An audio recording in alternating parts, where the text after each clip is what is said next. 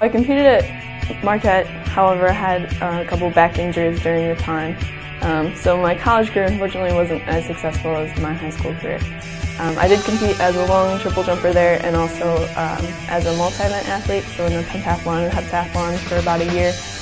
Um, and, and I knew I wanted a college coach after that, um, and I just ended up at Memphis because it was pretty much meant to be. Definitely helps considering I am closer in age. Some people I think would see that as a negative because I don't have I don't have much time away from the undergrad experience.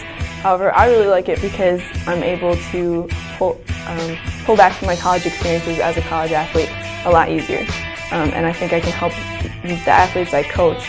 Um, because of those experiences.